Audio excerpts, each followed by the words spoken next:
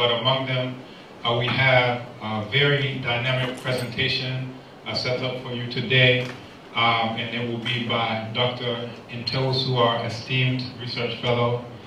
Uh, and as the chair, we have uh, Mr. Francis Amwani.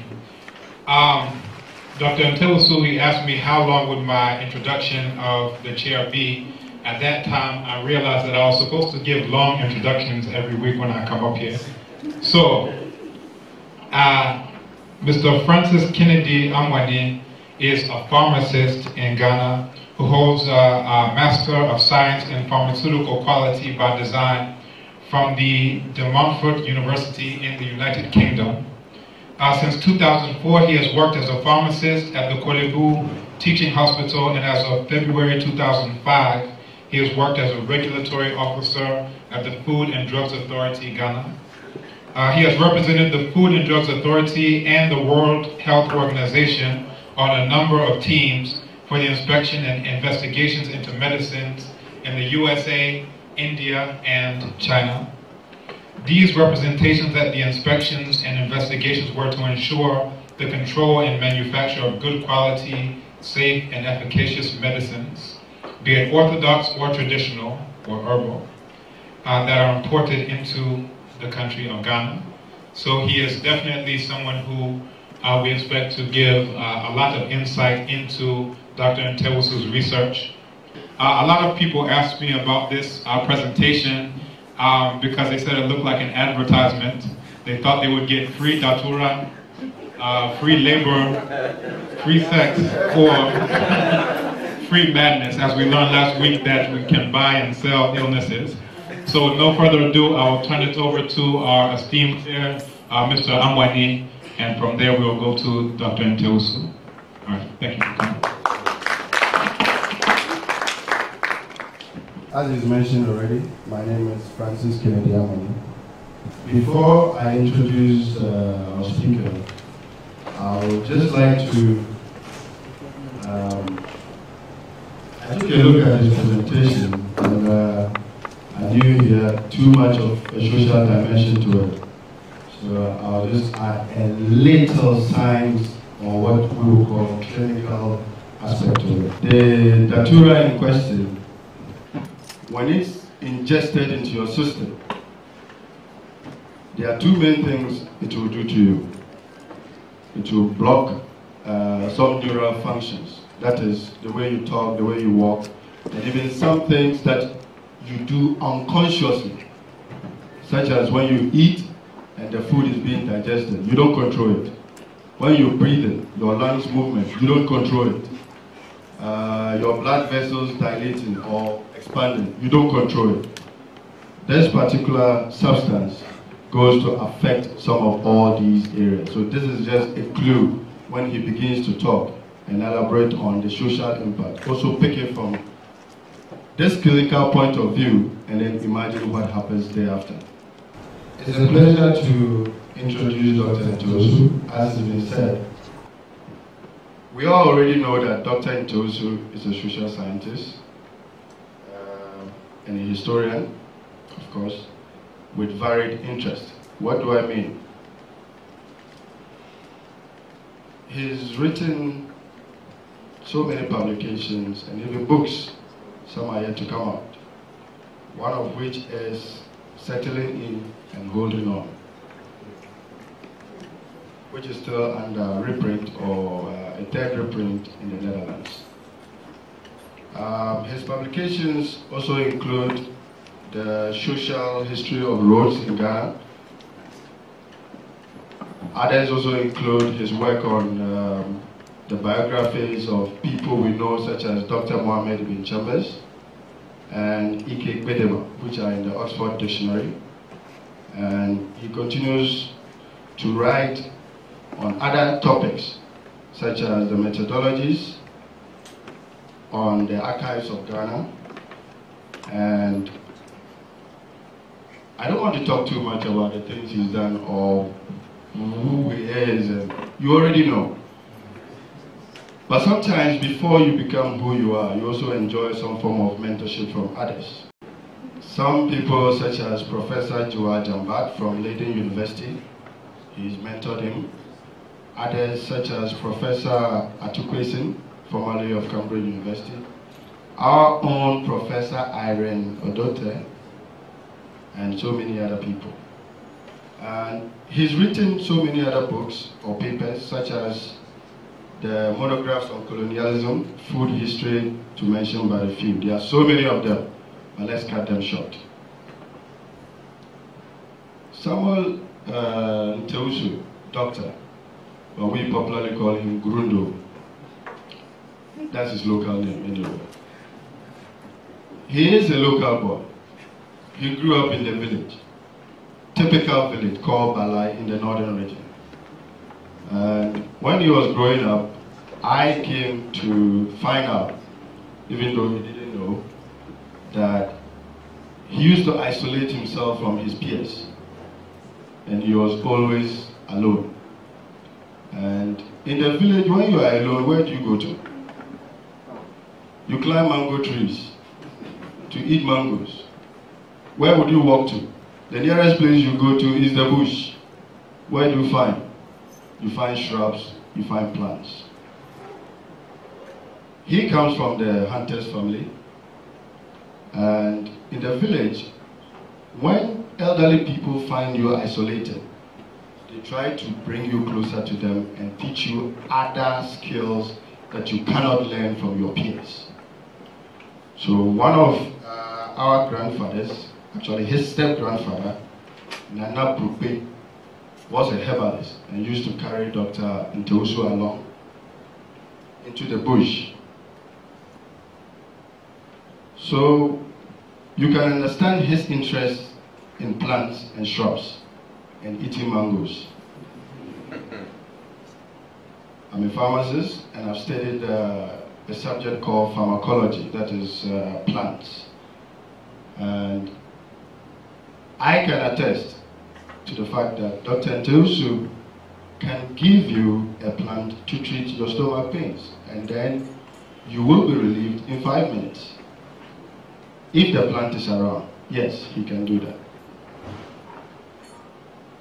This issue of plants, five years ago I was in the office and then he came.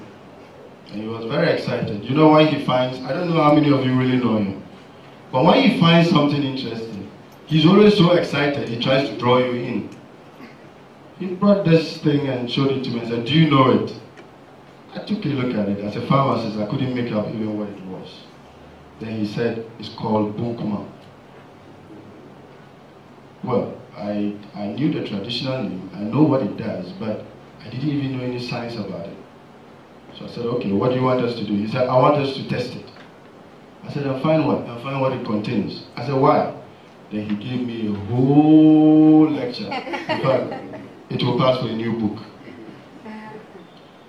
So I had no choice but to also be drawn into a historian or a social historian's uh, interest in science. So yes, we took it. And then we did some analysis to find out exactly what it was. And it was as he thought.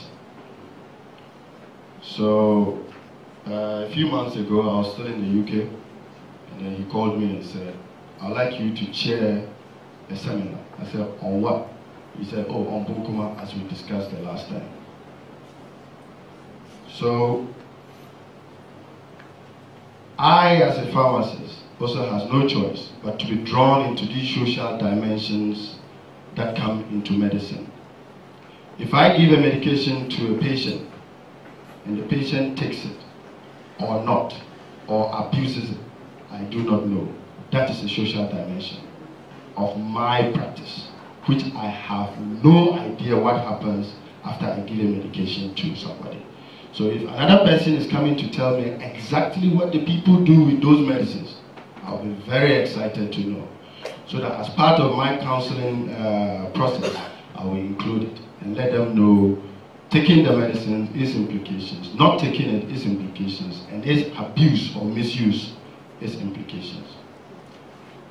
So please join me to welcome Dr. Ntewusu to give us a presentation on the social history of Datura, its use in Ghana. Thank you. Thank you, uh, Kennedy, for the long introduction and foraging into some of my private affairs. it is indeed true that the other part of my life is usually not known. That is the fact that I sometimes would like to just walk about in the wilderness and, and just think about myself or about others. And as indicated, the interest in the social history of this plant came about as a result of my association with the plant whilst in the village and later whilst in school. But first and foremost, we need to understand what social history is. I am not trying to convert everybody to be a social historian. But social history, history basically is just concerned about little things that we don't sometimes take seriously, but yet in a manner influences a lot of social and historical events. So it is quite a bit different from Balkan history where you are concerned about kings, you are concerned about uh, heads of states and the rest. This one we are concerned about mad people, we are concerned about laborers, we are concerned about everything. But these are important in shaping bigger issues. Now, datura is a very common weed that grows along roads and uh, around settlements. The origin of the plant is still a bit debatable. Some indicate that it actually originated from India. Others are also of the view that it originated from Mexico. Nonetheless, Datura is widespread, and in almost every continent that you go, you come across Datura. Now, there are about 12 to 15 species of Datura, but the most common among them seems to be Datura stramonium. Now, the success of the growth of this uh, plant is its ability to evolve over time through natural mutation and human assistance. Many ordinary names have been associated or given to Datura. Some of them include Jameson weed, loco weed, angel's trumpet, devil's trumpet or devil's apple, thorn apple, mad apple, stinkweed, sacred weed, green dragon. But the most widely used is Jameson weed. And we need to go into the history as to why the name Jameson weed seemed to be popular. Its common name was said to be a contracted form of Jamestown weed and it was after it was used in 1676 in Jamestown, Virginia. And then the name came about because there was record of United States, uh, uh, there were records of soldiers who were sent to quell rebellion who decided to take some of the seats. And therefore, the name Jamestown wheat came, or Jameson wheat. Locally, we also have names for uh, datura. The Gan call it Oula Kofiba or Bekebi. I think I don't know the meaning of Bekebi, but I fortunately have a lot of well-established Gan people here who will help me out. And then in tree, it is called Mofravinian or Pepe Diewu or Atiabodam. It's also called Kwasiedria or Awiewu. Now, uh, in Ewe, it is called Jogbe, Jogbebo. And in Konkomba, it is, or Lepapa, it is called Lopajatafa, which means the male dog's ear. In Dagbani, it is called Bunkuma Borokom. But this Bunkuma Borokom, it's just a description of the symptoms that you get as a result of taking it, which is a dryness of your throat. So I am here to find out the real meaning of it. But nonetheless, once you mention Bunkuma Borokom, everybody uh, in Dagbon will know what you are talking about. In Ghana, it grows about almost everywhere, but it is particularly concentrated in Teshie land. That is with respect to Accra and Afenya. We also have Chromantin in the uh, central region, Tutu Mampon in Apiapim here, Eburi, uh, Weja, sorry, in Accra also, uh, Avenon, and then Kwafro also near Cape Coast. There are several descriptions of how it grows, and I think for now there's no need to go into that detail. There's no evidence of datura being planted by anybody in Ghana, but nonetheless people harvest it for various uh, uses. Datura belongs to the family Solanaceae, the nightshades, which include some 2,400 species in total. Well-known plants in the family include vegetables such as tomatoes, garden eggs or eggplant, and then we have potatoes and some narcotics such as mandrake and tobacco.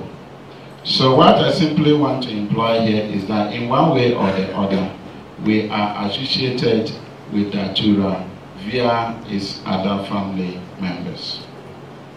As an alkaloid pregnant plant, it shares a number of similarities with common substances such as coffee, marijuana, and alcohol. Datura has a number of uses and indeed has been used in various ways by societies over the years, thus making it an important plant to study. While a lot of researchers have, uh, researchers have studied Datura from a scientific and methodological perspe uh, medical perspective, historians have often been left out in the study of Datura. I must, however, state that there have been interesting historical works on drugs that serve as important guides to this study. For example, I rely heavily on the publications of Emmanuel Akyeampong on alcohol cannabis. I also gained a lot of insights from Afene, who worked on marijuana, heroin, and cocaine abuse in Ghana, and especially in Accra's Tudu, the hub of the drug business in Ghana. In Nigeria, works by T.A. Lambo and Alexander Brovka, Brovka among ex-servicemen also offered very useful insights. But again, in Ghana, historians have been slow to the, to explore the significance of least known drugs such as datura and its impact on society.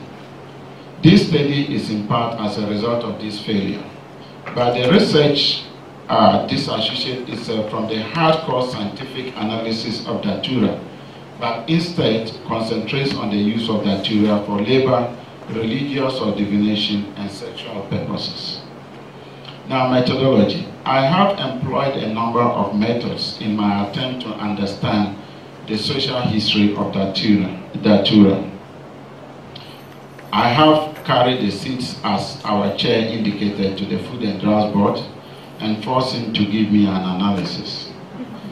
Still not satisfied, I carried the plant to the botany department and met Professor Danton and asked Professor Danton to help me with the analysis, which he gladly did. I also spoke to a number of people, including uh, my mentor, or uh, former mayor of Accra, Nat Nunoo Amarteifio, who continues to follow my academic uh, progress. Prof. Has been noted, but she wasn't there then. A cover search was also conducted to understand the nature of this very datura. And I've spoken to a number of traders, uh, drivers, uh, herbalists, and uh, what have you. I must, however, indicate that there's so much limitation as far as the Akaba sources are concerned. And this should not be surprising to any historian because the archives are largely a generation of administrators. And therefore the concern in the archives is usually about issues of administration and not issues that are related to hardcore sciences. However, I chanced two files that spoke to the subject, and as I continue with the presentation, I will uh, come out with those files and then what they say of uh, uh, Datura. But as indicated earlier, the limitations actually were well contained through interviews and then some of the publications that uh, I have mentioned already.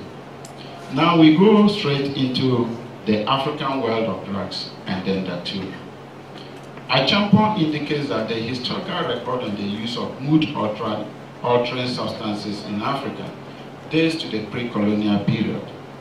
Drugs have had a long historical role in sub-Saharan sub-Saharan Africa as ritual artifacts, economic goods, and social markers.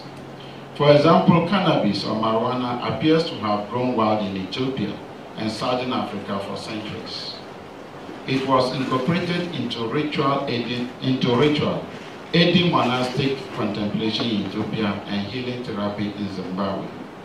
Chat or cat has been used in Ethiopia, Somalia, uh, Somalia and Kenya for centuries, just as has a, a plant, uh, witi, healing calls in Cameroon and Gabon.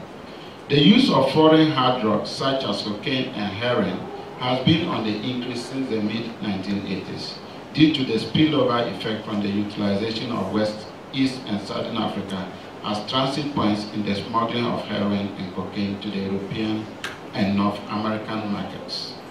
Cocaine has come through West Africa from South America, and Harry Bernstein describes the trafficking in marijuana, cocaine, and heroin as among the most dynamic and valuable of Africa's non-traditional exports and re-exports.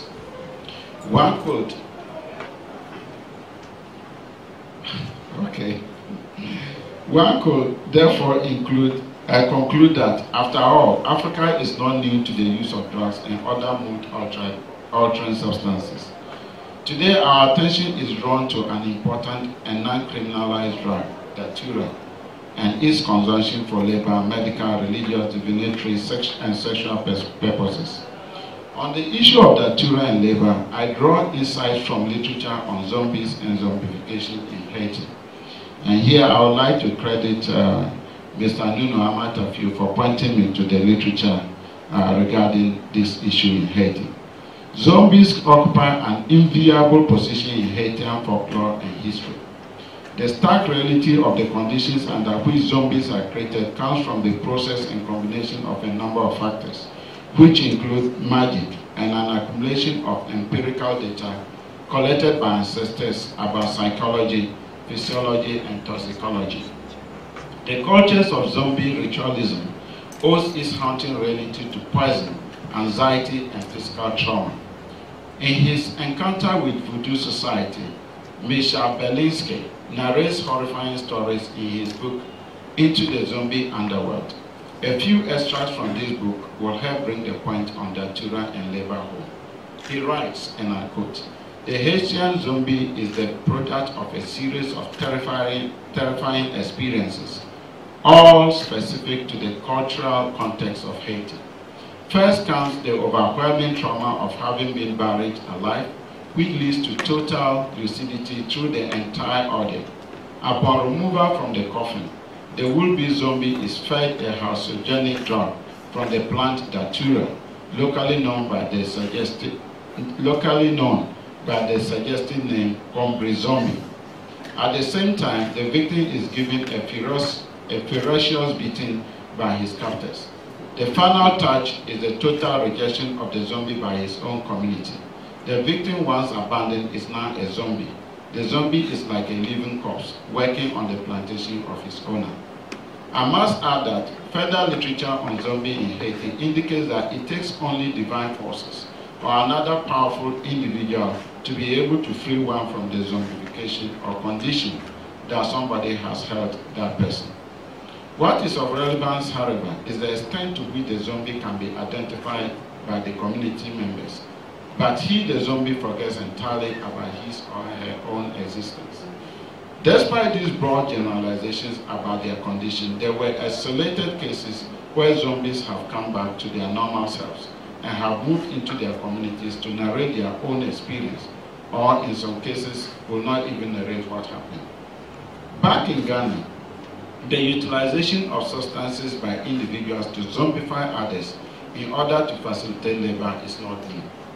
An informal discussion with some of my senior colleagues such as Dr. Larson, Edward Nambigini, and director of the Polytechnic show how farm owners in Ghana would drug their laborers with industrialized drugs such as anaconda, dabraquara, and the rest. And our pharmacists is here to come with the uh, cyclical names for us to be able to understand.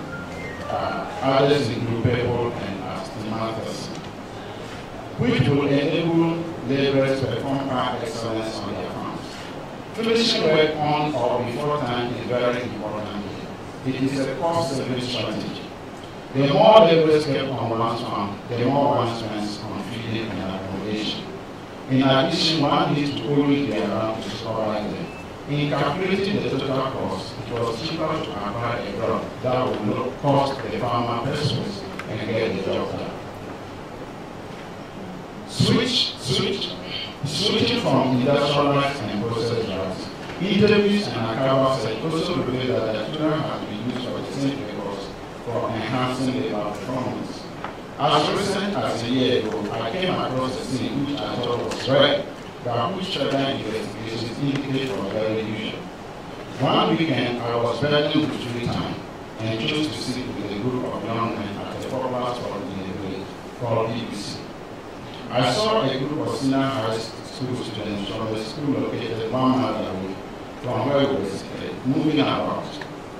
Further questions revealed that they were looking for farm work, popularly called Maggie. One of the teachers who now is a graduate student in this institute offered answers. He said, and I quote, some of them will finish the farm on Saturday or at worst on Sunday, but with the assistance of their tool. Here we realize the possibility of self-inflicted zombie, one that is not the making of an external being, as we encountered in Haiti, but that of the very individual engaged in labor. In reporting about northern migrant laborers in the mines during the colonial period, then Secretary for Mines, F. Kogel, reported in 1909 that the mines in Ashanti had always relied on labor from present-day northern territories and uh, um, uh, d'Ivoire and Liberia. Of importance was their hard work and their loyalty to their supervisors.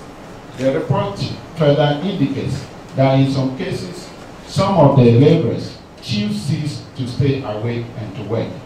Here one could not tell what the C's were. As a paper in progress, oral interviews would be needed to establish the missing link. But will the linguistic evidence from the field provide us with, with answers to this? For example, site, site names that I've mentioned as Pepe, Diewu, Ati Abodam, be enough to draw conclusions that indeed the, the seeds that were being chewed in the mines were actually datura.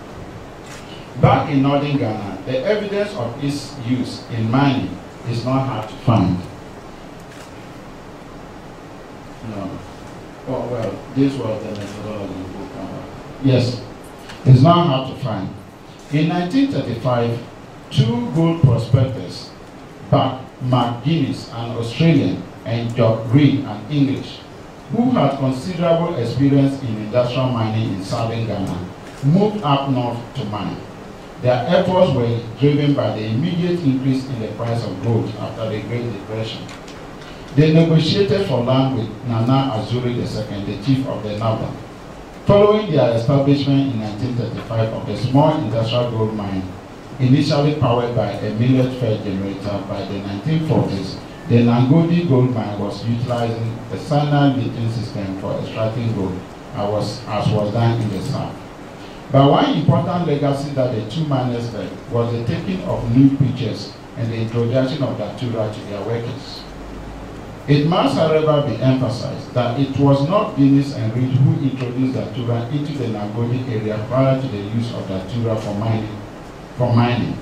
The plant was already used for divination, informing its local name Chikrikukuma, the Ferris plant, a point which I'll discuss in further detail in the course of this presentation. But besides money, Datura also was used by warriors. If we consider war as an industry and warriors and combatants as laborers, we see the utility in the use of drugs and other mood altering substances in war. Two informants in Tamale and one in Accra indicate that Datura was an important war logistic. At first, it was fed to horses that were sent to war to enable them perform with, to perform. With time, some of the warriors themselves started taking it. In our interaction with security experts on the relevance of my findings regarding Datura and warfare, he added that such similar injections of hallucinogenic drugs in Sierra Leone and Liberia occurred at the time of their wars. He asked that for the warrior, the purpose of making oneself invisible to the enemy is not only about black magic, but also could be analyzed from a physiological point of view, a, a psychological point of view, where the one who has ingested the drug feels invisible, therefore becomes much more courageous, even in the midst of imminent death. There is an extent to which the issue of Datura and Kore even becomes much more relevant if one begins to analyze student demonstrations in Ghana about three decades ago. In the 1980s, the structural adjustment program had affected a lot of sectors, especially the educational and agricultural sectors. At the educational level, grants to schools were cut and food supplies to schools were erratic. There were even instances where in some schools in the north, businessmen and merchants had to supply food in order to avoid the closure of schools. In terms of food, headmasters and matrons had to substitute quality for quantity. To add to the problem, broken beds were hardly repaired, leading to the popular term checking the floor, which was a situation where students were forced to sleep on the floor. Students' agitation for improvement and reforms were met with silence or with excuses. The solution lied in radical measures. Aluta became the preferred and only choice for students. As if a demonstration timetable was drawn, demonstrations started from one school to another and soon spread to other schools. Incidentally, this period also coincided in the increase of abuse of both marijuana and datura, some out of frustration and others for the sake of the demonstrations. Indeed, as a student at, as at that time, my study group was accused of masterminding the 1989 risings in the school, leading to the dismissal of three of my colleagues. Unfortunately, when we were called back, another mate of mine was searched at assembly, and it was discovered on him cigarettes, datura, and matchbox. And to make a case for punishment, the matchbox was exhibited as a mini explosive. It must be indicated that the oral evidence provided for the consumption of datura in schools came out in a research that was conducted later by the Ghana Education Service in 1994. By 1999, the National Union of Ghana Students, the University Students Association, had added its voice to the campaign against drug use among secondary and tertiary uh, students. Notes noted how many students were enticed into drug use as they believed this would boost their academic performance or social confidence or social confidence in school. Rather, they ended up being confused instead, instead or mentally unhinged. Moving from its role, uh, its labor relations, Datura also served certain religious functions. My interest in Datura and divination uh, was actually brought up in March 2013 when I traveled with Swedish uh, counterpart Professor Olof Dahlin to investigate the popularity of the Kempe Shrine in the village of Bala. Our arrival coincided with the final funeral rites of a relation of mine. Now, funerals always end with divination to find out the cause of death and the wish or wishes of the deceased. Furthermore, funeral divinations will also enable the community find out whether other souls were about to join their ancestral well and if their death be, could be avoided. The diviner came with a stick, some cowries, charcoal, a broken calabash, and leaves from the locals being tree. We were all thrilled by his precision. This made precision of events. This made me to immediately book an interview with the diviner. He took time to explain to me the deployment of datura in his trade. That quantities were ingested the night before, which in most cases will let him be able to commence to converse with the ancestors and the dead. So what he comes to say in public is just communication between the uh, in the previous night. But more important is his explanation behind the real name of the plant in Lepapa, which is called Labor Tafa, the dog's ear. Further questions as to why the dog and not the ear of other things say the ant. That is if you can see the ear of an ant. Reveals several layers of meaning between plants and animals on one hand and their similarities with human beings. The dog, he explained, first and foremost is equated to a human being and forms the greatest sacrifice to most deities of protection. Besides, the dog has several features as human beings, smell, hearing, moods. In some cases, even their sense of intuition is far greater than that of man, as they could see beyond what we don't see. They don't easily trust strangers as we do. Their trust for their master is undivided. That is why they are the best species for security. Moving away from this manifesto in defense of the dog, I shift emphasis to the ear and why the Datura will gain this name and might more become important in divination. It is useful to indicate that the, ears, the ear is important as far as decoding and messages from the spirit world is concerned. In the world of divination, figuratively speaking, hearing is much more important than seeing despite the overemphasis by many commentators on the second eye. The world of divination privileges a particular sensory organ, the ear. The act of listening to the message from the spiritual world, hence the name Lekwatafa, and its use in divination.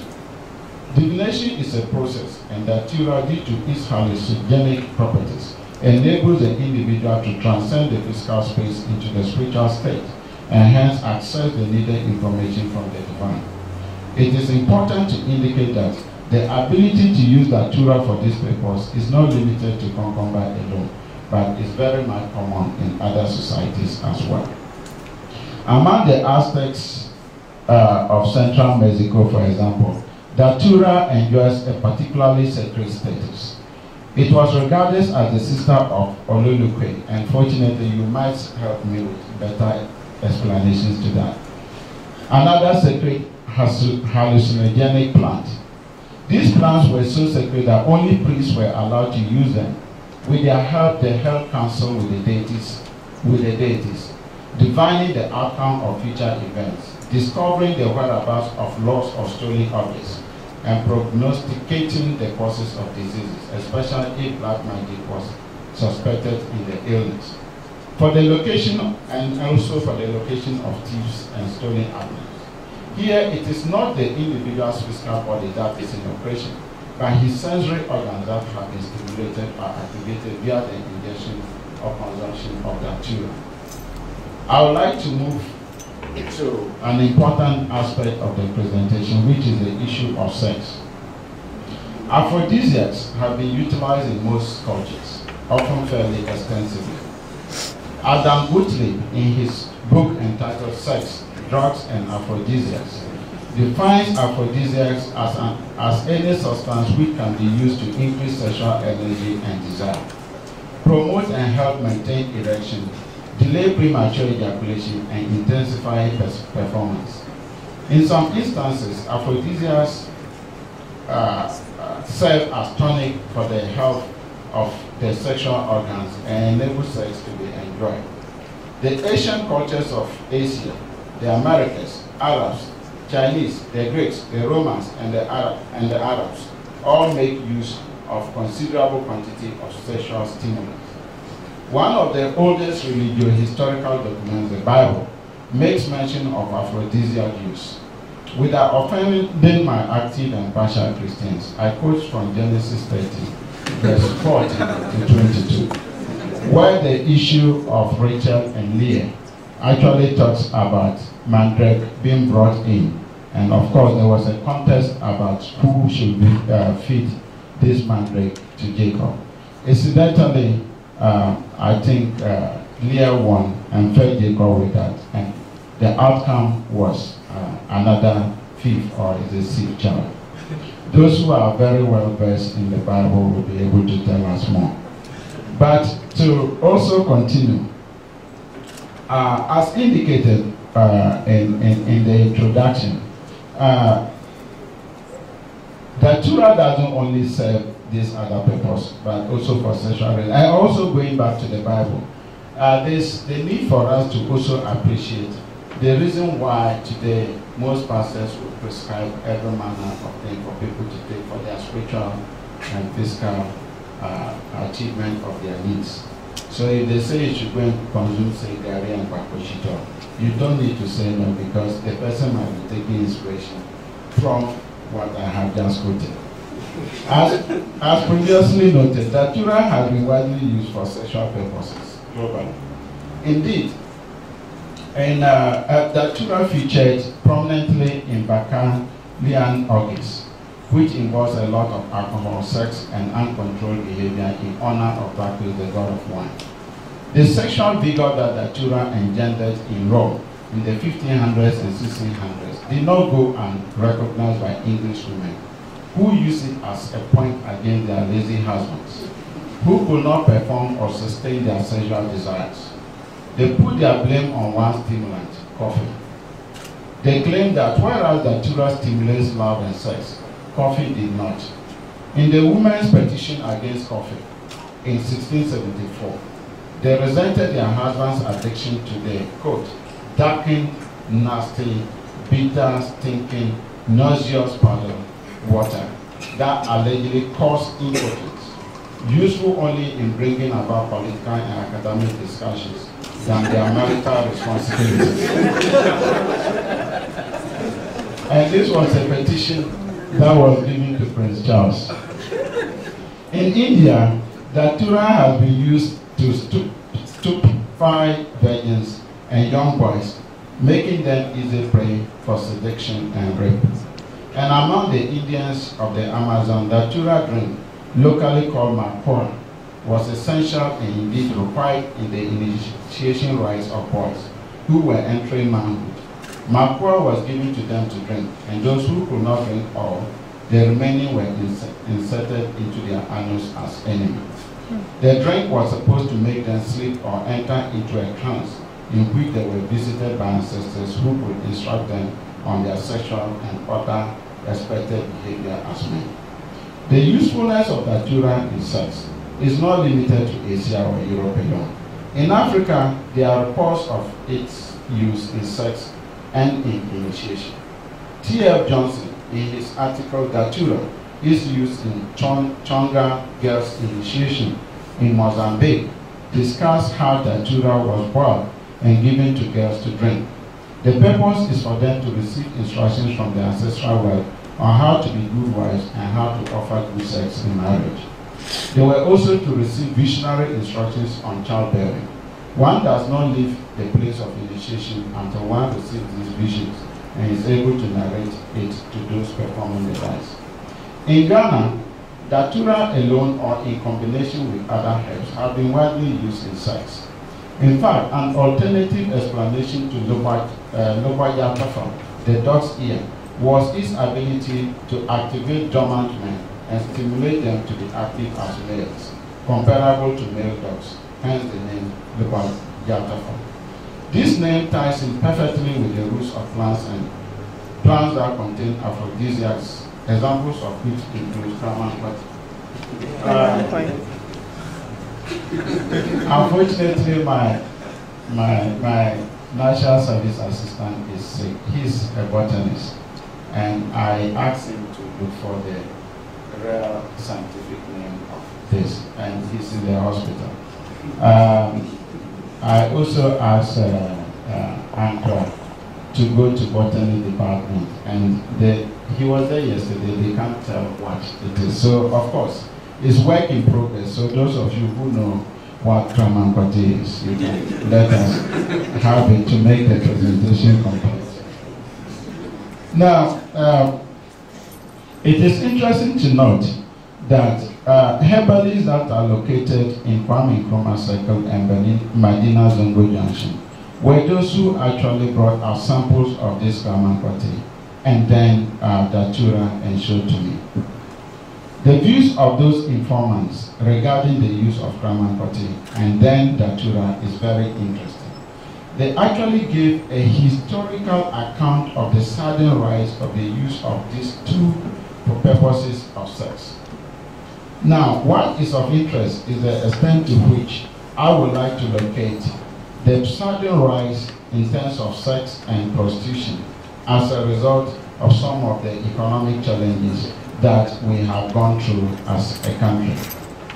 The devastating effects of neoliberal reforms in post-colonial Ghana, especially from the 1980s, have had profound impact on Ghana. The government's implementation of structural adjustment program enforced by the IMF since the 1980s have led to deepening urban and rural poverty and high unemployment rates among the youth, especially those in the city. The increase in young men and and women who engage in transactional sex could be partly due to this. But there's a way that we need to reach the issue of cost being incurred in sex and how that will lead to the patronage of aphrodisiacs. Many of the young men I interviewed indicate that if they are paying for sex, then they must really enjoy it. Uh, enjoy it. Enjoyment here has nothing to do with real excitement, rather than how long it will last. This concept of lasting has even been popularized by musicians, Till Keteka, and those of you who know VIP and the rest will, will elaborate more on that. Some young men did not hide their, feel, their feelings to get more out of what they have paid for by including that quote, Miyites and Sanamashioba. There has also been a shift in the nature sex is conducted. Initially, some young girls left their poorer same-age boyfriends to look for richer and more well-established men who can provide their immediate and in some cases their family needs. There is a tendency to keep the young boyfriend and in some cases even support them financially through a trade or education. One way to make up for the financial disempowerment was through sexual empowerment, which in some cases would call for the use of drugs. Also, the rich and well-to-do are very much aware of the presence of the young guys uh, and are even more aware of their inability to sometimes match their performance. The effect then is to acquire sex-enhancing drugs. A casual visit to some of the drinking spots and pharmacy shops indicates the presence of some herbal-based aphrodisiacs, which, in, which informants indicate is patronized by both the young and then the older men. Still on the issue of health for sex, I shall indicate that the patronage is also due to an increase in the number of hawkers and peddlers of herbal medicine who have taken to the street and market centers instead of staying in the comfort of their homes to be visited by clients. As stated, Charles Anyinam in his article Traditional Medical Practice in Contemporary Ghana highlights the failure of medical practice in the 1990s and 19 1980s and 1990s and points to the diversion of attention from Ghanaians from the hospital and doctors to the herbalists and peddlers. For him, the patronage of herbal drugs, which include aphrodisiacs, was due to the structural adjustment reforms, which made many unemployed people to go into the sale of herbal medicine. The import here is about the sudden rise in the use of datura as an aphrodisiac, which, as we have observed, is not entirely new in the history of most societies. Before concluding the lecture with the negative effects of the use of Datura, let's have a, a look at a four-minute video on, on the effect. This is uh, on the web and it's, it's from the United States, but it's, it's, it's relevant to our discussion.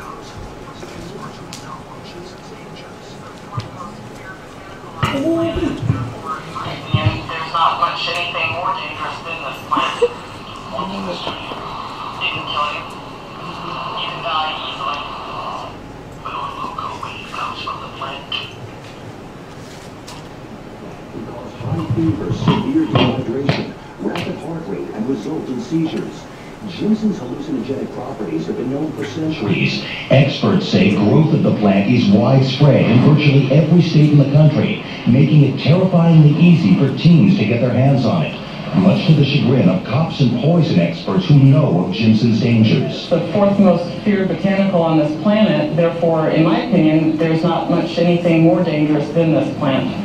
What can this do to you? It can kill you. You can die easily.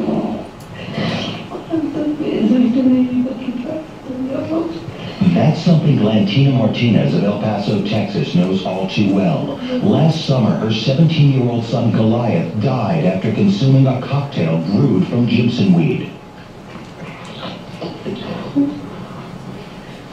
It was part of my heart. Through broken English, she tells us the death of her son has left her literally shattered. My life is like rocket. Broken? Yes, it's rocket inside to me.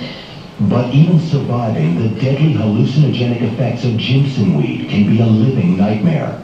I seen a pile of dead bodies and it started coming to life for me. And I seen just spiders on the wall, ants were crawling around. 17-year-old James Freeze of Chula Vista, California knows all about Jimson hallucinations. After drinking a large dose of Jimson brewed tea with a friend, the two got so high they were brought into the local police station for observation. If you ever wanted to know exactly what Jimson weed can do to you, pay very close attention to what you're about to see. It's a tape Chula Vista police made of James and his friend under the influence of Jimson weed. The two are so impaired they can't even speak. Again, what you're about to see is no act. James is the one on the right. Have you taken some US today? James and his friend are truly in a world known only to them. Here you see them pass a cigarette to each other, only there is no cigarette. James' friend later smokes it and actually flicks the ashes. Again, there is nothing in his hand. James styles his hair with an imaginary comb. He beckons to friends in the room that only he can see. There is fear in the eyes of both boys and major anxiety. Motor coordination skills are almost completely gone.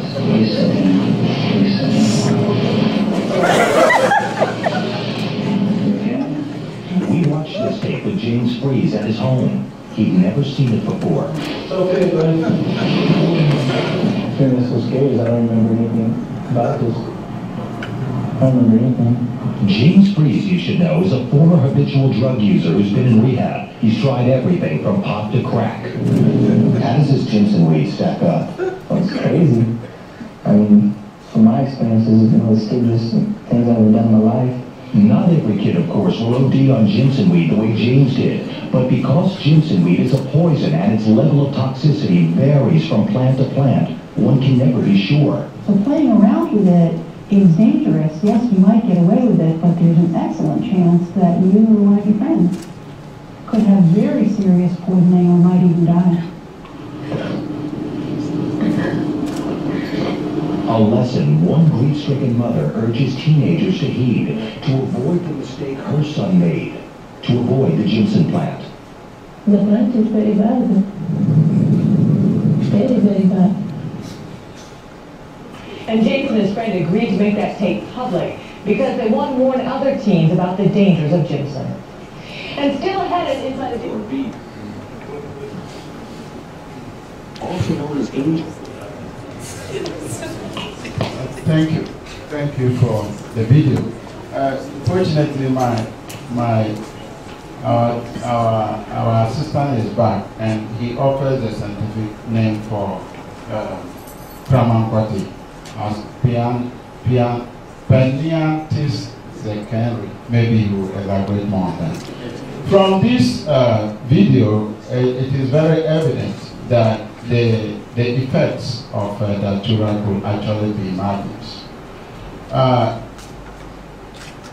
my ability to track its effect actually were from the fact that I grew up in an area and understood this plan. But also, I went to Tamale and contracted a public health nurse to track down the effects of datura injection in the area.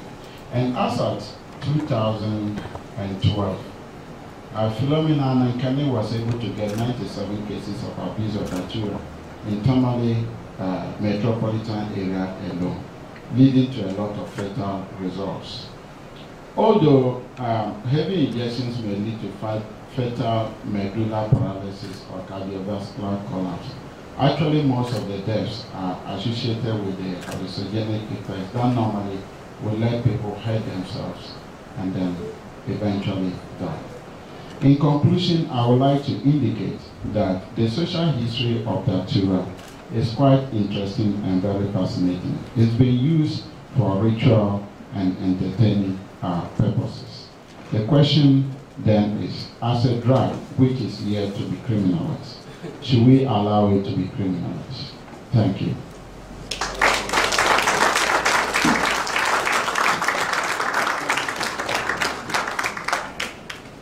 All right, so at this point, we would like to open the floor for any questions. Um, I personally found this to be quite an interesting discussion, so I'm sure we will get quite a lot of questions. Any comments? Uh, Thank you for your excellent presentation. I'm Monica Tetzla, a visiting Fulbright scholar from the United States. And I would uh, unequivocally say that it's not a good idea to criminalize drugs based on our experience in the United States where, in my opinion, the war on drugs has really failed. And its result has been an unequal policing of blacks in cities um, and uh, being locked up for marijuana usage, um, whereas marijuana usage, like the usage in some ways of this drug, is pretty widespread, but it's very unequally policed and um, in any case, it's usually not something that is harming other people. People do harm themselves, and I think education and drug treatment are um, the way that has been proven to be much more effective.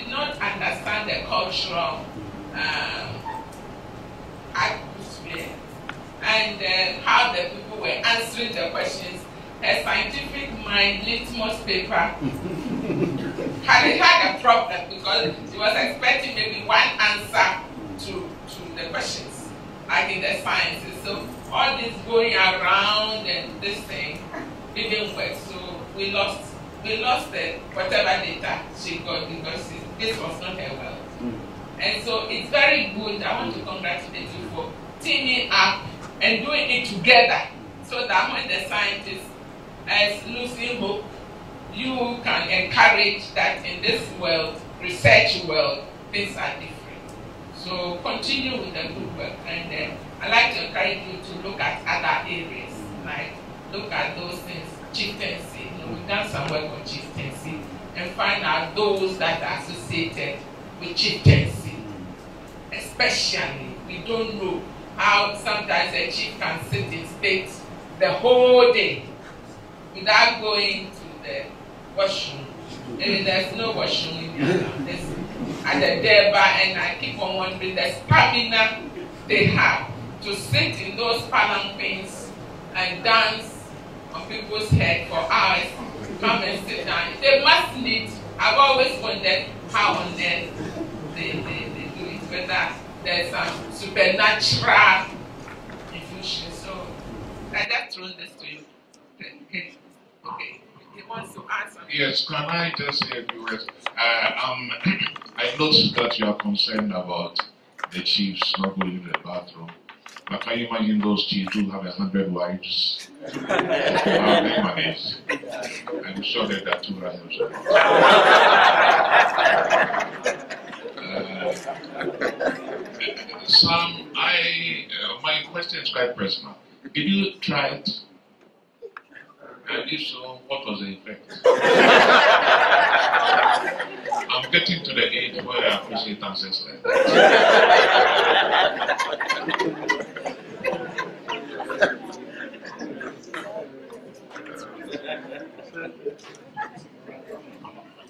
Thank you.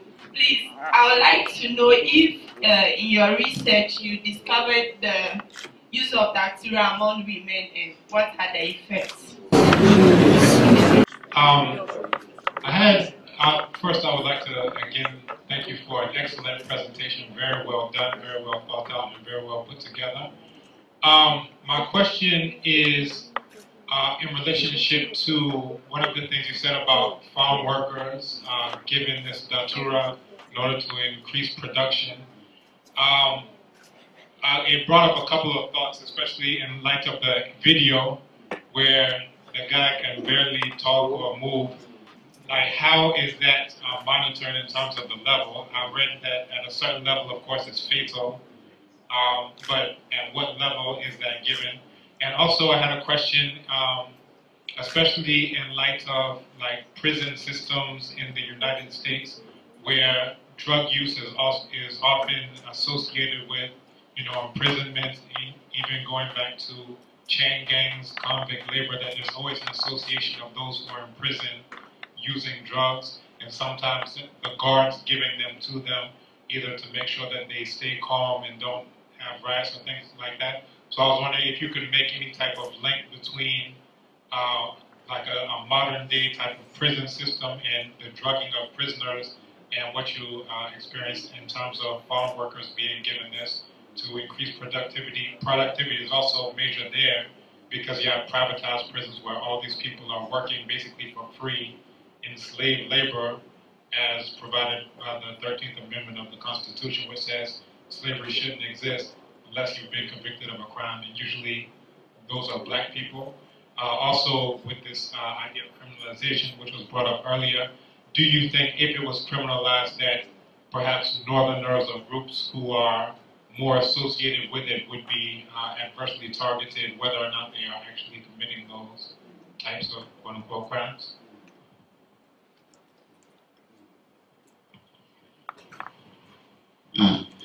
Thank you very much for the comments and then the questions.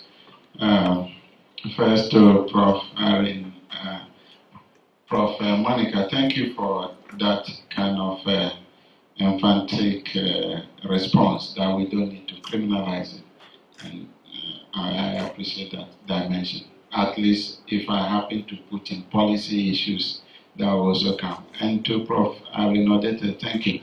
In actual fact, what you have really said, of course, I've said it in class also, that your ability to sometimes push me hard has led me into trying everything. And of course, um, I wanted to actually discuss Datura with respect to warfare in Ashanti.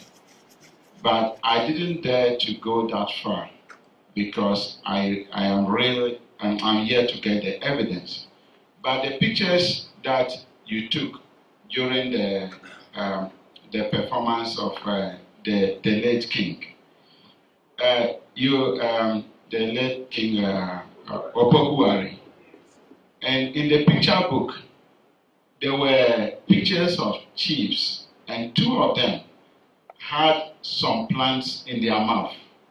One of them was the current Otumfuo, and the other was the Juabiyini. I actually called uh, uh, a few people to cl- clarify, but they said I need to go to Ojuabi myself. And of course, it is known that Ojuabi is very central when it comes to issues of warfare in Ashanti. So I am here to make a trip to be able to get that and link it to issues of uh, uh, chieftaincy. Uh, the question from uh, the former mayor of Accra, uh, Mr. Nunoo Amarteifio. Yes, I took the Datura twice. And the first one, I took it when I was in secondary school. And that was when we were trying to democratize the school through, through demonstrations. So uh, that was for that purpose. And the second time I took the Datura was uh, after I had grown it. You see me trying to plant it in my house. Uh, I was just fascinated with the plant. So I decided to plant it, and you see me harvesting it. Okay. Uh, the second time I took it, I just wanted, I had drafts of this paper. So I wanted to link my body composition with the mind and be able to speak from evidence rather than from hearsay. Uh, I took about 10 seats and I really can describe vividly what happened to me. Uh, I, I was not asleep and I wasn't also awake. yes, but I could see myself uh, trying to cross a kind of river. And then a, a tree a tree was cut by who I don't know. But it was cut across the stream, and I walked across the stream back and forth. Okay, it was at that point that uh, I, that that was what I felt. But fortunately or unfortunately, two tenants in my house have been seeing me watering these plants, taking the measurements, looking at the flowers, taking pictures. And when I was home on the 5th of April to perform my late father's funeral, they took uh, uh, two, uh, they took, I mean, it will go around, don't pick it, I brought samples. The whole thing, this one contains uh, close to about 60 to 70 seeds. And each of them took one one. and they were about to die. So I was there when I had a call that this is what has happened. They had stripped themselves naked and they were urinating on themselves. So it was bad for me, but at least from the point of studies, it was.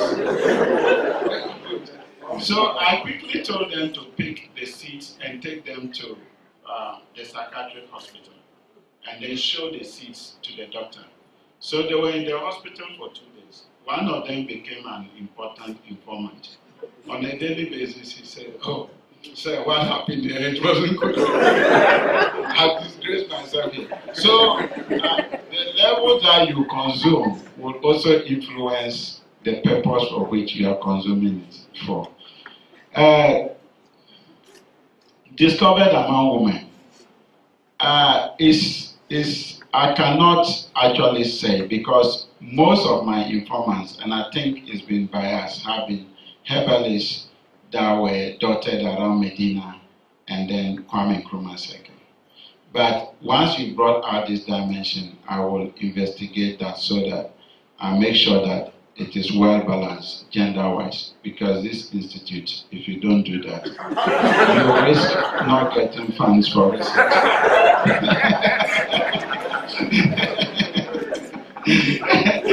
okay. The, the issue of um, of farmhands, it goes on to answer your question. Certainly, the students uh, took it so that they will be able to work, and it was actually certainly not in in in in, in large quantities. And regarding the criminalization of this drug, uh, of this. If they criminalize it, it appears that more men will go into prison than women. Because it is they who always want to prove to the women that they are men. And for those who have been on WhatsApp, I've actually picked up a lot of insights from WhatsApp. There was this case involving a lady in the US and another in Canada. I don't want to mention their names. And it boiled down to the guy in Canada not marrying the lady in the US and marrying a different person, but actually brought the girl to the wedding. And it went back and forth on WhatsApp, and I think Peace FM or one of the FM stations kept playing it. It even was put on YouTube. What the lady said was that after all, if you have ditched me, I'm not worried because you are not a man. What kind of a man are you? Okwatia, I see the as You know, your Peninsula has, I don't know, maybe you have, has taken a bath and, and, advise the, the, the newly-wedded wife that, yes, advise the newly-wedded wife that this guy, when I was with him, I was actually having sex with him. He not, he was not the one having sex with me. And my advice is for you to go and get medicine for your husband because he's not a man. So it appears that it's men that are more or less interested uh, in it. Uh, of course, my evidence is still based on what I've just uh, uh been able to discover, but I will also investigate the other dimension. Uh, so in terms of criminalization, this is how far it might go. Uh, is there another? Uh-huh.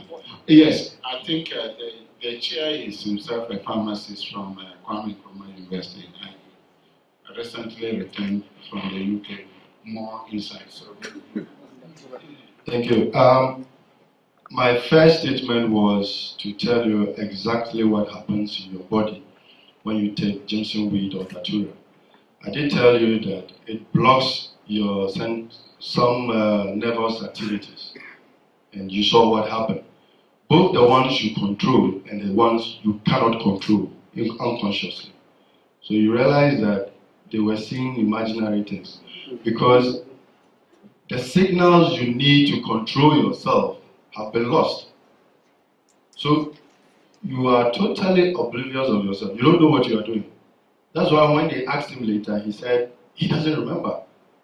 So, just to calm a few nerves, the Jimson weed has good sides and it has bad sides. Now, the bad sides mostly is what we are all scared of. The good sides are under control, but the bad sides we do not know. So these uh, hallucinations, deliriums, people actually die. Yes, because as the video said, depending on the geography, the chemical components or other components will be different. Uh, I don't know how to put this, but there was a survey which said that Ghana had, excuse me to use the word, the best weed in the whole world because we had the best climate for it. Okay. So depending on the climate, you have uh, the plant picking up certain poisons. One of the prominent ones is atropine, and yes, it can kill you. I don't want to use uh, too much big science words which uh, will not make any meaning. But for the good side, of course, Jimson weed under control is used for so many things. Example, what you just said, for as an aphrodisiac. You, you go to the pharmacy, you see other weed, they call them good weed. It's been registered as a product that you can use, probably, because the amount of uh, chemicals in there are under control. It's even used in asthmatics. It's even used as uh, what we call antihistamine. Okay, it's used for uh, motor activity. Even sometimes some people who have nervous problems or nerve problems use Jimson weed. So it has its uh, advantages or it has its good side. But these good sides are under control. Look at it being grown out in the field openly. So anybody who has access to it might not know the amount to take. Just one seed made somebody lose uh, control. Yes, when it blocks your ability to control urine, what happens? You urinate without knowing that you even I mean, on yourself. So the danger is the uncontrolled nature of Jimson weed, or is being used without proper understanding. And yes, I do agree with you. Public education on what Jimson weed is is very important. You. Here's my question. And uh, Dr. Ntewusu, I hope that you'll be doing gender analysis, not just for strategic reasons, but for intellectual ones as well. Uh, first question is whether Jimson weed and Datura, and I guess the, the chair may speak to this more, is it the same plant or is it just that it has the same active ingredients? You talk about climate, is, does it operate you know, if, if you've got the active ingredient, whatever it is, it does operate the same way um, in different uh, cultural conditions. And um, the question that I'm more interested uh, in the answer is how is um, if Datura used in, in ritual performances and religious practices by you know, traditional priests, by herbalists, and how do they construct it? if they use, if they indeed use it, how do they construct its use? Do they, you know, do they have just a material explanation, or do they have a temporal or a more spiritual explanation? Just a, just a small, a small question. Uh, David Buchman from Calvin College uh, in the U.S. Um, which is, he described the ritual uses as preparing for divination, preparing for communication with the ancestors. Is the is the substance, the weed, the seeds, the leaves itself used? Is it ever used as an accompaniment to rituals? Is an infusion used as libation? Does, does the plant itself figure in rituals, or is it only that the plant is used in preparation for um, I wanted to find out if you noticed um, its consumption by any um, animals. Like, did you notice animals um, using it? You know, the animals usually have some sort of uh, knowledge of what they use the plants for. Um, be interested in knowing if you notice any use naturally by the animals. Thank you, Dr. James, for a very enlightening presentation. Uh, just probably something that you can follow up, the use of uh, for sports. If you can talk to a few of the old sports masters or old sports guys, at the time that uh, we talked, we, this didn't occur to me because uh, the old sports masters used to grind bunkuma seeds mixed with glucose and give to their sportsmen before they get on the field to play. Then another point you could check, probably with uh, cults that initiate people into a new life. Let's take the the Bagre of the Dagaba. I'm aware that they use fungi uh, millet that has fungus on it. A brew of that makes the initiates to sleep, very akin to death. And when they have woken up, they have been reborn into a new life.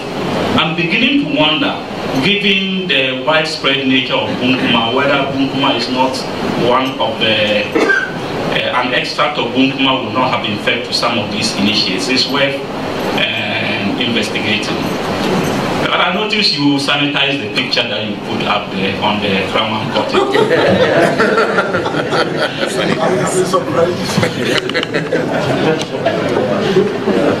Okay, we have uh, a question. We have a pharmacist who is a faculty member here at University of Ghana at Legon, but he is actually in China right now. Uh, Paul. Yeah, I can, can hear you. Okay, you can uh, go ahead with your question. Yeah, um, practicing back in Ghana, you would notice that you have these herbal products that are readily available in the pharmacies and even at marketplaces. There is sometimes a deliberate effort by these herbal medicine manufacturers to lace their product with some of these psychedelics. And I would want to know if there's a particular interest to, as it were, screen some of these herbal products and then be able to tell that yes, these perceptions out there can be confirmed, such that these can inform policy decisions from the, the FDA. I, would want to know if something like, did you get that? Yeah. Hello? Yes, yes, we, we got you so far. Did you have anything else? No, no, no. I, I couldn't follow from the beginning, and so I'm unsure in what direction exactly the proceedings went. And so, if this would be tackled, I would be very happy to hear what the outcome will be. Also, you'll be happy to know, and I think you already are aware, we uh, put all the videos up on YouTube, so you'll be able to follow it in full. But with your question, I will let Dr. Ntewusu answer that one and the others on the floor. Wonderful. Thank you. Wonderful. for the questions. Um, in my attempt to overemphasize uh, in, in writing, I think I've lost some of the questions. But please, if I've forgotten you, just please remind me. Uh, in terms of uh, Director, please, your question again. I particularly lost your question. I must be honest. The, the, I'm wondering, Yes. in, it, in its spiritual Yes. And ritual use, Yeah. how is it constructed? Do you know? Did you ask them? Do they, you know, do they construct it as a herb? Do they construct it as medicine? Do they construct it in religious terms? Mm, mm. I think what happened with this uh, diviner that I spoke to later was that um, he considers, in the first place, he told me how he got into divination. So one day he was in the house and then some voices were calling him in the bush and he left. And for three years, he was just wandering about in the bush. I finally followed to his village where he comes from to ask if that was true. Uh, they could not say much because he himself was a migrant who came there. And so it will mean that anytime I'm around Yendi, I might have to go further to uh, Wapuli where he comes from to be able to track his record. But what he told me was that after he had left, certain herbs were given to him, and not only one. I think you can see him holding some. Those were just, yeah, he was holding some in the left. That one is just for the public purpose. But for the Datura, he will first grind the leaves. Uh, say tomorrow he's coming to the vine in your village. Tonight he will grind the leaves and then take a snuff of it and then smoke some. So whatever wishes he gets and he comes to your village, that is what he's coming to tell you in public. So he consumes it as a spiritual uh, uh, product for purposes of divination. I think that also goes on to to answer uh, uh, Professor David Hockman's question on how the plant is being used. Uh, actually, it's the leaves that are of essence in this uh, regard. Consumption by animals, that is a very interesting question. Uh, I, I planted datura with other flowers and I realized at one point that all were chewed by animals, uh, goats. And so I decided to replant and fence it. And so in my readings, I came across uh, something which indicates that in the night, the Datura's behavior is different than during the day. So I had to stay awake just to be able to know what it was. And for me, I was particularly interested in it as a fragrance. In the night, it was very nice. So I, from time to time, I would go and smell, and it was very good. I encountered goats there, but I think they chose to chew the other flowers because they tasted better. Uh, I was, I, I, decided to destroy the plants following what happened to the two tenants. I think it would have been good to go back and then see, maybe destroy the other flowers and leave that alone and see which goats come to chew. But on two occasions, I got angry and had to beat one goat severely. Took almost all the flowers I got. Okay. And then uh, uh, sports, the issue of sports, I will investigate that. Uh, that, that I myself used to be a long distance runner. So I will ask my teacher what he was doing to us. yes. Um, there was also one on on course uh, and, and, and fungi and issue of uh, initiation. Uh, I think the issue of the bagre and the and malt uh, and fungi, I came across it somewhere. Uh, I think it was Goody's work on, on cuisines, but it's something that I will also uh, follow up. I think so far, any, have I left or something? Oh, the, yeah, that one, the question from the video, I think uh, the pharmacist will deal with that. Also, fortunately, I work for the Food and Drugs Authority, so I'll be able to uh, say something about that. Uh, liaison of other products with uh, Datura and uh, you know other aphrodisiacs. First and foremost, you are advised to buy medicines from approved facilities. That is pharmacies, licensed chemical shops, and approved herbal shops. So if somebody is carrying it on the head, walking around, definitely that is not an approved uh, place to purchase your medication. If you go to these licensed or approved areas, they they they have these aphrodisiacs. They have what you need. They are there. You go there and tell them. You find the necessary solution. But if you buy for people who roam around carrying it on their heads, market with lorry solutions, then how do we also guarantee that these people don't do what they are supposed to do? So I wouldn't want to delve into that to answer the question whether they liaised or they have not liaised because they have not been approved in the first place. So yes, it is possible that these products with these aphrodisiacs such as natural and co. Some of them even have chewing sticks, which are all aphrodisiacs. So you are advised to buy from approved sources. And Jimson weed will also be there these approved sources at controlled levels that will be beneficial to you. But please don't buy from these uh, lorry stations, people carrying it on their heads. We cannot guarantee that. I hope I answered the question. Oh, the active ingredients, there are many. But, but the, the, yes, yes, yes, it's a, it's a, jargon, uh, the weed is more of a, the datura is more of the scientific or the issue with the most prominent ones, I did say that I didn't want to bore you scientific names, but since you go there, let me, you know, help you out.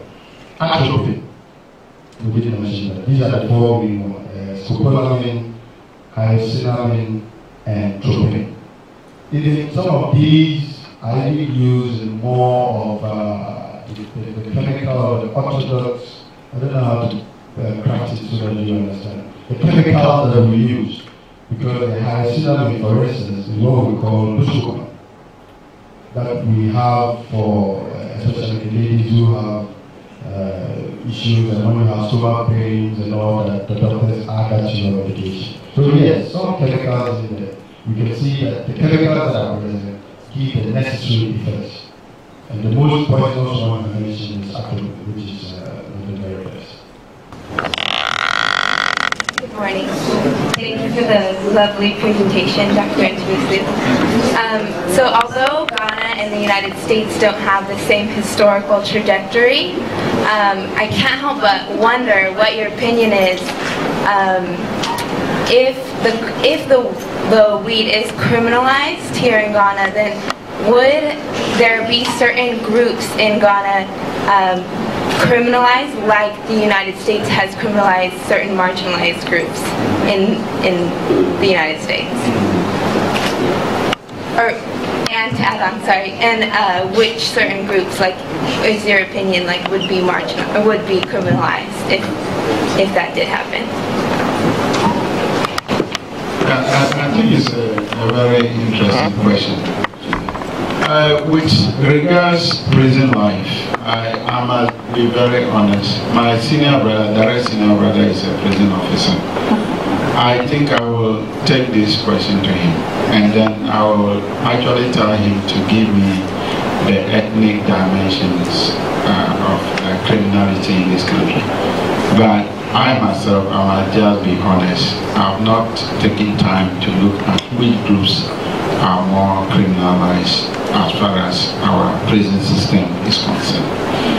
Uh, I, I, think the statistics is worth looking at. Sometimes if you try to answer it without evidence, you might uh, run into trouble. It's just like the issue of Madina Zongo. Culturally, uh, you see it as a northern enclave. We have a lot of sadness staying there as well, including churches that are up and doing in those areas. So I will, I will actually uh, find out and, and get a response to you. Okay. Is that okay? Yeah. Good. The second part of Mr. Amarteifio's question, yes. and your experience in relation to the dimension. okay, I think that should be the last question. Oh, oh, is that, oh, well, yes, okay, yeah. So, this is the final question. Oh, yes. Yes, um, with the tour being uh, we, we understand that there's, a recreational drug in the in the sex industry, Mm. and um, if I, I just wanted the constitutional enlightenment on this particular one. If an individual uses it for sexual enhancement, and you use a drug for a, a long time, you use it constantly on, a daily basis, and the drug becomes normalized to your system, if at the point you are not able to, you don't use it, then you that you cannot perform, and you want to believe that you, or, uh, all the things that probably you cannot perform, and if it becomes normalized to your system, it will get to a point that even when you take it, you, you still probably will not be able to. I mean, I will something that's on this one. Okay, I think uh, just to answer, uh, yes. Oh, yes, okay. Can I make just, just one quick suggestion? I think, Dr. Ntewusu, you missed an important research opportunity. Yeah. When the goats were eating your plants, Uh, yeah. if only you had chewed some leaves, you could have interviewed the goat.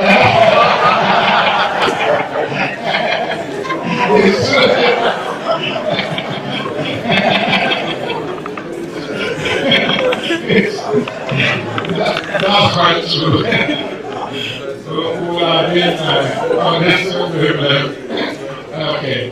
Uh, thanks for that uh, addition, Prof. Hoffman. I think uh, I did not uh, consume it for sexual purposes. Um, and I think now that you have mentioned it, I, I might consider it. I took it just to be able to feel the way feel and to be able to write better. Uh, with the issue of getting to an optimum level and finally deciding, I think you will give the last and then the, I think we are. Uh, yes, I think you, you, you generally answered the question. Um, when you take medication to a certain level, tolerance will develop know the. Your body might not respond to it, and then you begin to have the effects of the abuse of it, which will be total collapse. So yes, it will have an effect on you. I think we've come to the end of the seminar. So. Okay, so we would like to thank everyone. Uh, give yourselves a hand for coming out. Probably one of the largest groups we've had so far. And as promised, we have some free datura for everyone to sample. um, and also, finally, the seminar for education perspective, we found out that um, Mr. Mwani fought every man who came except Dr. Ntewusu because he knew he was researching Datura. He said this man will definitely be good for my system. So we would like to again thank everyone for coming. We'll be back here next week um, at the same time Thursday at 9 a.m. So we look forward to seeing you. The video should be up within the week. And again, thank everyone for coming and thank Dr. Ntewusu and Mr. Wani for a wonderful presentation today. Another round of applause.